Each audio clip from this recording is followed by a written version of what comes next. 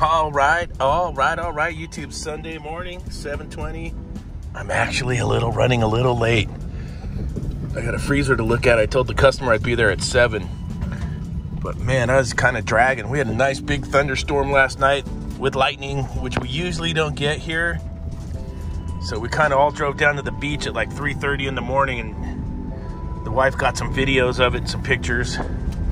So it's kind of like, you know, that's kind of nice for us. You guys are probably sick of thunderstorms. For us, it was kind of cool. We're in the, we're having a nice little heat wave right now. It's uh, well, let me get this wiper thing going. It's like seven in the morning. It's already 77 degrees, which for here is usually our high temperature. So yeah, it's gonna get nice and cooking today. Look at that, huh? Look at that. Mm -mm -mm. Love the sun. Yeah. Yeah, I think it's it's a true. It's either a two door or a three door freezer. I'm thinking it's a two door uh, freezer.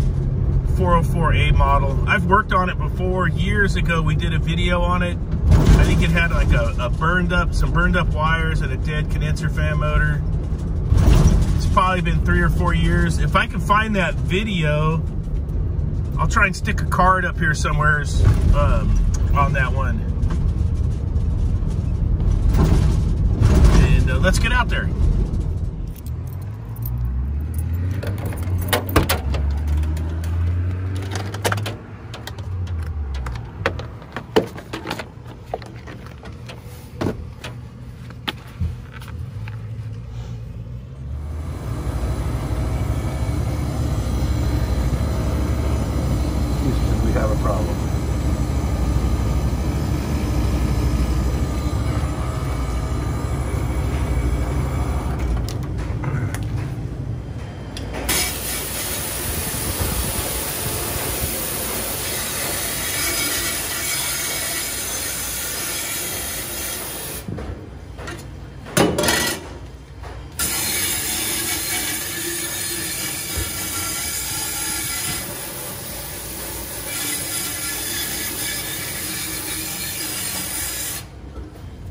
Right, so that it's getting harder and harder to film right now because the places have less um, staff because of the Rona.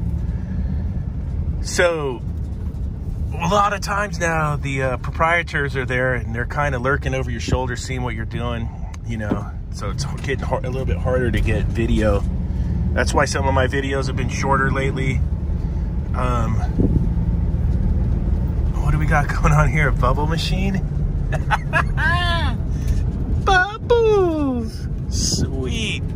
Um, yeah, so the freezer just had a bad condenser fan motor, and also they were closing the door or leaving the door open because it's hot, and then the door would cover the condenser area. So we got those two issues corrected, and then there was a makeup table. I looked at a little pizza table and it has three bad door gaskets and the air is leaching in there. So it's it's running super high head. It's having a hard time keeping up. So i'm going to come back change the door gaskets. I want to recover the charge put a proper fitting on it, it had a bullet valve. And then uh, pull a vacuum and weigh in the correct charge on that thing. I got a feeling it's a little bit overcharged too. So and again that's another another building in my area that has no air conditioning you know a lot of the places here don't have air conditioning so when it does get 100 degrees for two, three, four days in a row, all the equipment just melts down. And there's really not much you can do for it. Let's get to the next one. The next one's a drink uh, drink cooler. All right, this one's got the broken drain fitting on the True. You can see there. Put the drain pan up there. So we'll have to take the drain pan out to repair that. Should have one on the van. I think I do. And then of course, multiple fender deluxe, dirty coil. We'll get that cleaned up too. All right, I'll just take all the screws around the edge of the drain pan and then drop it down, like you can see right there. So I can get in for my new fitting. It's gonna go through right there. There's the, there's all the broken pieces. Let's go to the van and see what we got. Got the straight one. And then the one with the little 45 on it. Bam!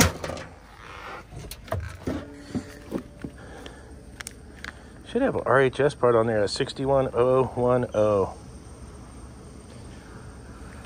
RHS part number. RHS is Refrigeration Hardware Supply.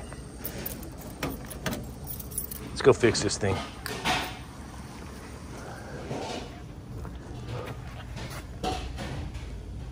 Coming through like a champ. All right, then you get it in there. It's pretty self-explanatory. Get your hose back on. And do your best contortionist to get all the screws back in. Get all these screws up in here. Uh, we'll wash that coil and we'll give this thing a test run. A little broken piece. And uh, we'll get some coil cleaner in the pump sprayer and wash this out real good. Right, let's get this thing plugged in.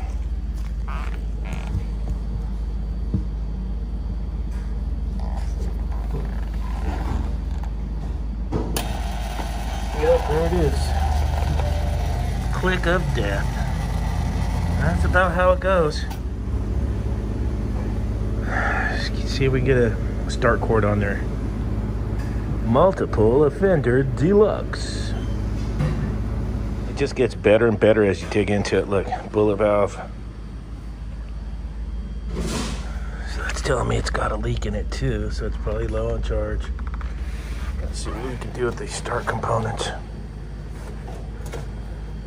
We're over here.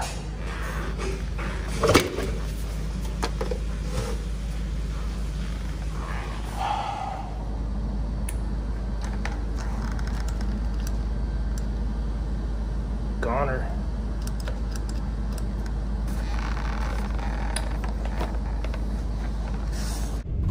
All right, she wants me to get the compressor and the condenser fan motor for that 17 year old fridge. I even looked up new ones for her to buy, but yeah, they want to fix it. Ooh, it's gonna be sketch. But yeah, we'll throw a compressor and a condenser fan in there. And uh, it might get dicey. We'll have to see. We'll have to backblow that cap tube and see if it's any good. I'll make sure I pick up a cap tube for that compressor too on those trues, I normally I'll run it up the back of the machine and tape it, tape it to the uh, with some like foil tape to the back of the unit. I'll run it out the back, exposed, and then drill a hole in. That's about what you got to do on those. So we'll see how it goes. Stay tuned.